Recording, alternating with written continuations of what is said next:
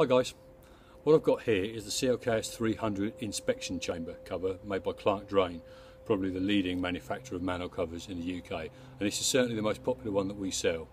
The reason for that is that as you can see it's square on the top and if I swivel it over it's circular on the back and if I hold it closer to the camera you can see there's a number of concentric rings on the back of the frame that enables this to be fit to a different diameter of mini access chambers. So that means it will fit all leading manufacturer of mini access chambers.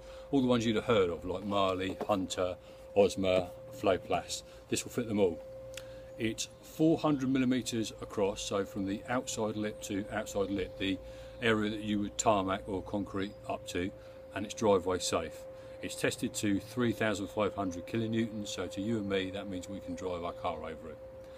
If you need any further information about this or the chambers that it fits to, do have a look on the website. Information is there as usual, www.drainagesales.co.uk. Thanks for watching, see you again soon.